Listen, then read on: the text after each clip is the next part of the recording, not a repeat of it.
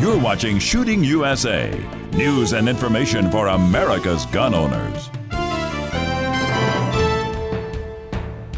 So, you've been shooting competition in the production division, but you'd like to move up to limited with higher capacity mags and a caliber that scores major points. But does that mean paying for a custom built limited gun? Well, John's about to show you how to make the step to limited economically. Well, this is something very new to the market. This is the M&P 40 Pro Series 5-inch. And I've got a selection of parts to bring this gun up to speed and make it competitive in the limited division. First, the internal parts, all from Apex Tactical. I've got their hard sear and ultimate striker block, and those just dropped into place and got me on the way to a race-ready trigger. I also did their trigger return spring and performance striker spring. Now the benefit of all of these parts can be seen when you look at the trigger pull gauge. Under three pounds. That's more than four pounds better than the factory trigger pull. Now to help manage the recoil of that major power factor 40 cal, I've got a Speed Shooter Specialties tungsten guide rod, and this is going to put a little more weight out in front of the gun for flatter shooting. I've also got a selection of recoil springs in different weights from 13 to 17 pounds from ISMI.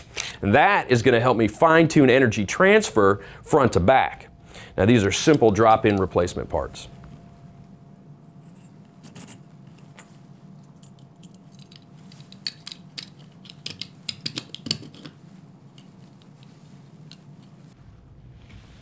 Now to the frame.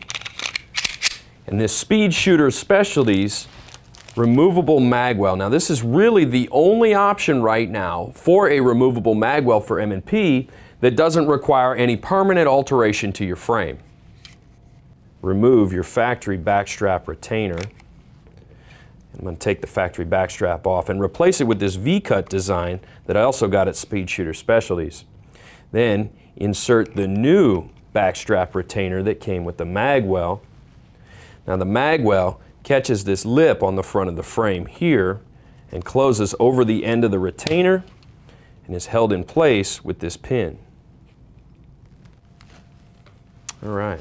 To get the magazines up to speed, I've got some 140 millimeter base plates for M&P mags. These come from Taylor Freelance. Now these will add five rounds of capacity in 40 cal to the factory mags, bringing the total up to 20.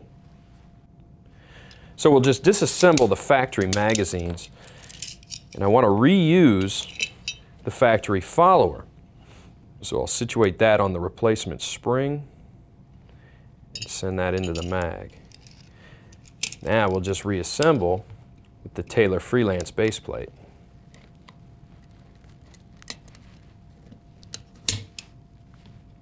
There it is.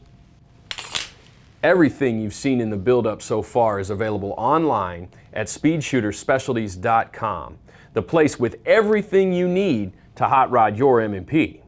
Now the only thing I need is some range time.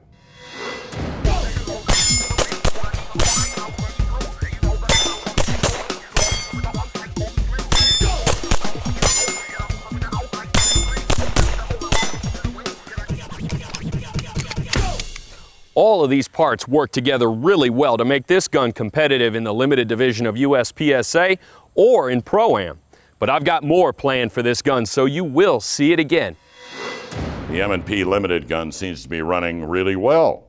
So how much did John spend on all of that? Well, not as much as you might think. The Apex Tactical Competition Action Enhancement Kit is $95. The Magwell is 50. The Tungsten Guide Rod is 46 both from Speed Shooter Specialties. The Taylor Freelance aluminum floor plates are 29 apiece, so less than $300 in the conversion, plus the new M&P 40 5-inch. Altogether less than a thousand to be competitive in limited.